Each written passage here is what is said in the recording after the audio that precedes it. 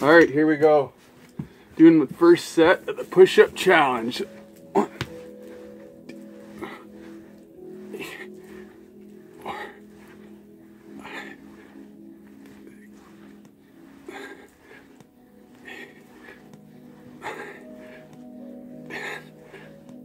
uh, uh, 30,